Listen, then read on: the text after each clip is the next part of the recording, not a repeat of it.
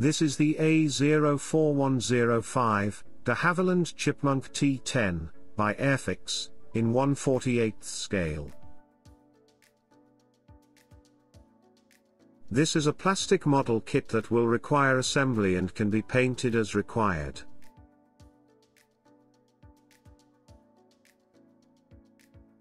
In the box, you will find a selection of light grey and clear plastic sprues, together with instructions and decals.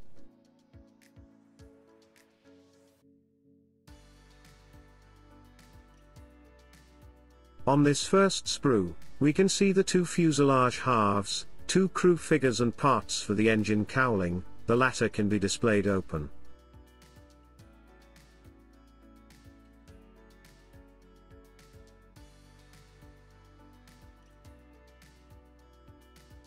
The wings are conveniently molded in upper and lower halves.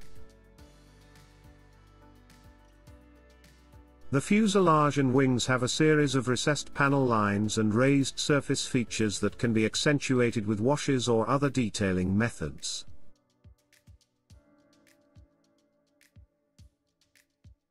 The final grey sprue contains parts for the tail, cockpit assemblies and a detailed de Havilland Gipsy major engine and firewall.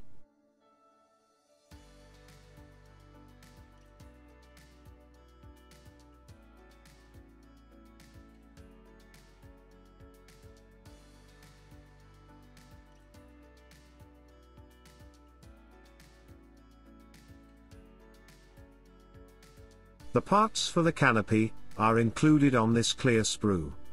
The canopy can be modeled as either open or closed as desired.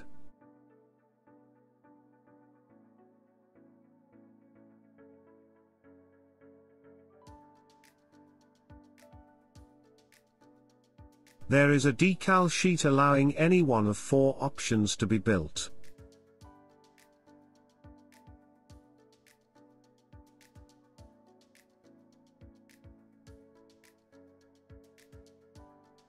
A comprehensive instructions booklet calls out the build in a series of 54 logical steps.